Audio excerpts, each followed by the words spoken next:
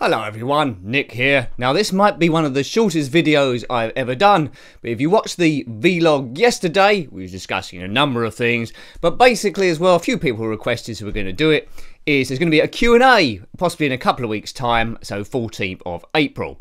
If you've got any questions to ask in that Q&A, then put them below, you've got two weeks to do it. If we get enough questions, then we'll do a Q&A two for 2017. If we um, don't get enough questions, then um, we won't. So it's in the lap of the gods really. Put your question below, or not really.